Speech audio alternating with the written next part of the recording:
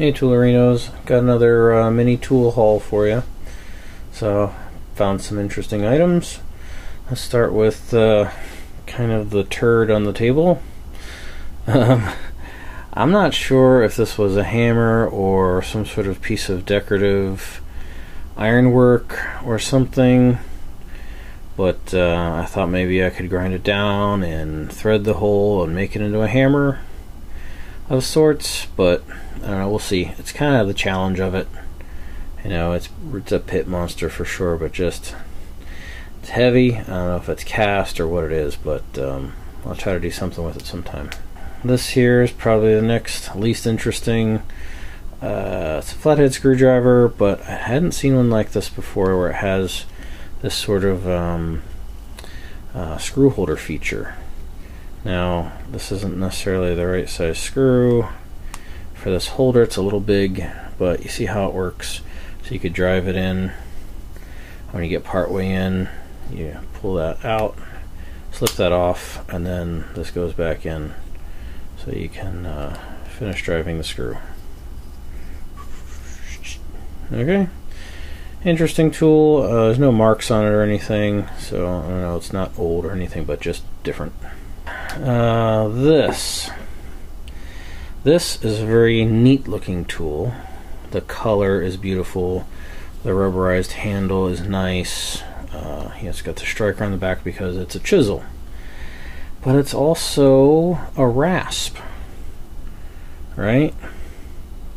It's got uh, a round and a flat and then a little edge set of teeth here. But I'm I'm not a big woodworker, so I don't know if this is really a useful length. It doesn't seem to me like it is. Like I think this would be a gimmick tool, right? As a chisel, I'm sure it would work fine, unless as part of guiding the chisel, you want to put your hand here uh, because you'll get all chewed up, right? Um, so I don't know, you woodworkers out there, is this valuable? Is this actually useful? Or is this a gimmick tool? You know? Let me know. Uh, next thing here, uh, it's an old kitchen, 25 cents. It's an old kitchen funnel, right?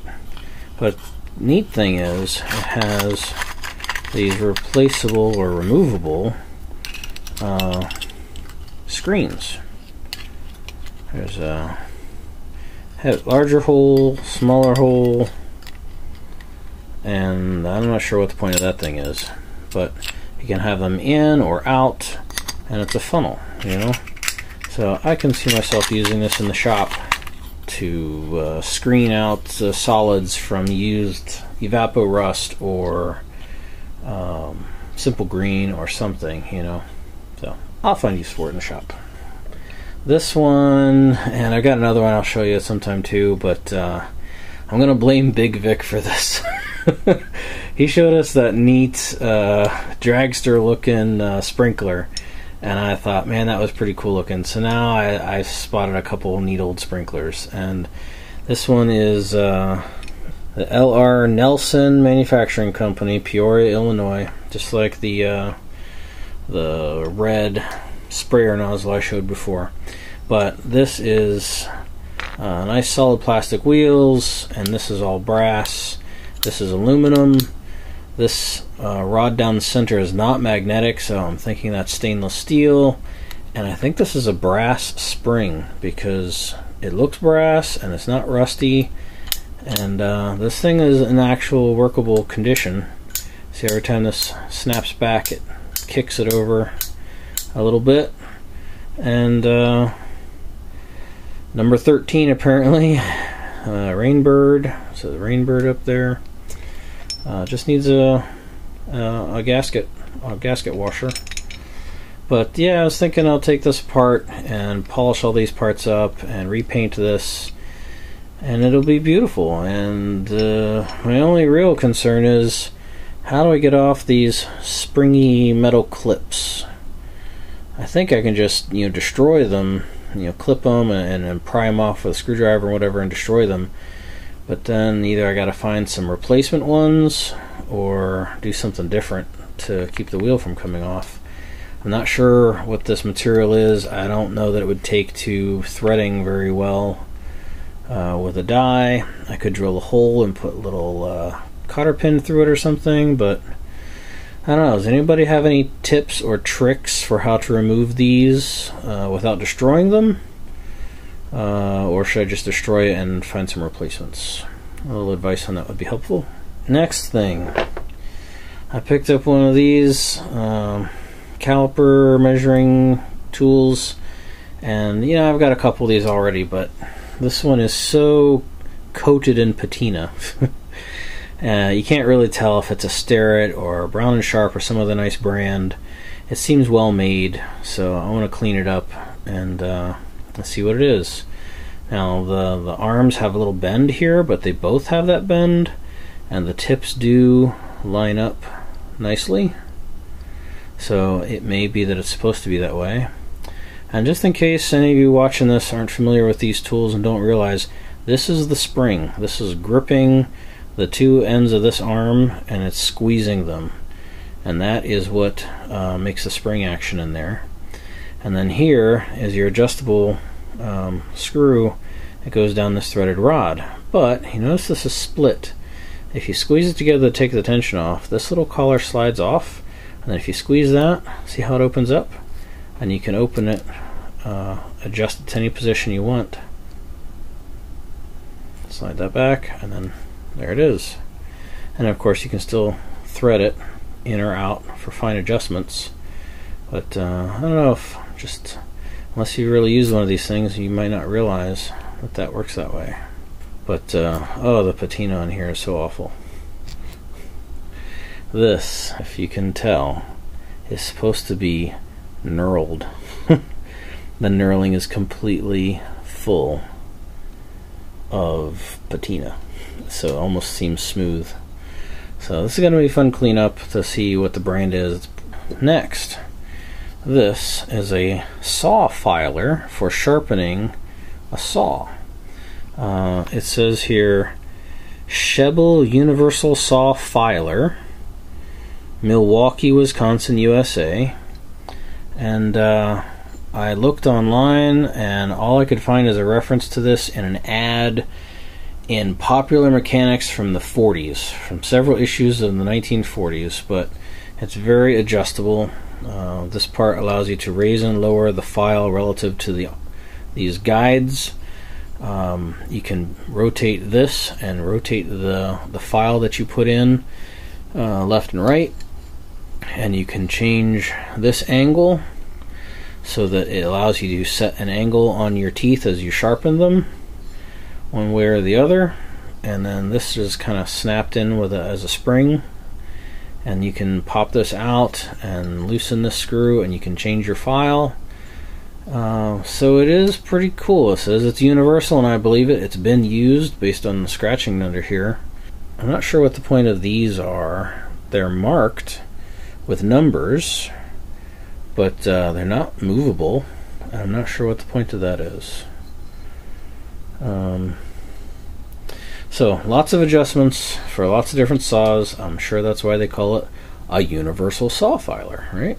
Uh, I got this at a, another sale, and you know it's for the uh, lathe to use on the lathe out in the shop, and it works, right? But it's missing the holder to set the the, the gauge adjustment um, it's missing a screw there. It's missing a screw there. So, you know, it needs a little cleanup on the face and needs some a few screws put back in place. But otherwise, I expect to be able to use it for the lathe. And when I was out, the same place where I got the turd, um, I saw this, and they basically just gave me this. Um, it's like an indicator, and you can see that it moves but this, there's no spring action. I think the spring should be under here because when I open this you can see the other end of that that rod is in there that moves and uh, and it just falls on its own in there so it will work so I got this basically because I wanted this holder for the other one and I was hoping these one of these screws would work to fix the one I want to use. So uh, I just, you know, as I'm looking through the camera, I can see there's something strange about the face. So here's like a dark side, and then there's like a pie shape of lighter color here, and then maybe another one here. There's something weird about this. Um, let's open it up and find out. Now, this is just bought for parts. So I wasn't planning to fix this. This one's a little chewed.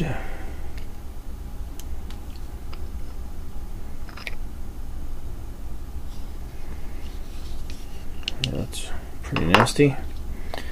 But look at that. Sizes 3 and 4. And there's a plus and minus there. It's like this was being used uh, to calibrate something or as a quality control check on something with a very fine range. And so they covered up all the other marks with some masking tape, it looks like. Yep, there used to be more marks visible. It's under tape. Interesting. Anybody has any uh, information about that or what I should expect? Um, why that is that way? Let me know. It's that time again, Toolerinos! You've dialed into the blast to the present! Alright, does everybody know what this is? I had this when I was a kid, and I'm sure other kids had it years before me, and so I was just pleasantly surprised to find it still being made. There, made in USA. It says it on both sides of the ball, and uh, you can still buy this. I bought this recently at CVS, and on the bat, it's uh, it says official wiffle bat made in USA, and it's made in Shelton, Connecticut. The guy who invented it, uh, David Mulvaney, um, he invented it in the mid 50s, and it's a way to play baseball, you know, for kids on a smaller scale in a safer way because the ball isn't very heavy and so it doesn't travel very far. And so, yeah, I was just pleasantly surprised to find that you could still buy a brand new wiffle ball and bat and uh, it's made in the USA. Huzzah!